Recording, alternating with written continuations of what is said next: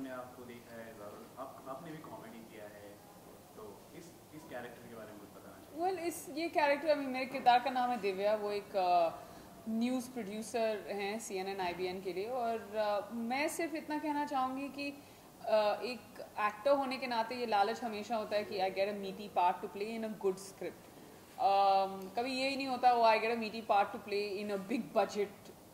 film because that doesn't the promise और the return on that is is nothing पर um, जो एक बहुत ही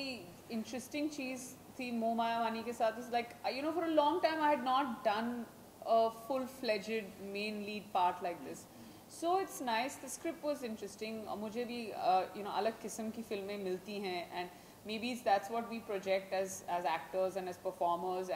just as individuals we attract those kind of things and that kind of work और बहुत interesting होता है you know because you don't know जब आपका फ़ोन बजे, आपको किस तरह की स्क्रिप्ट मिल रही है। But for a fact you know that you are not getting जैसे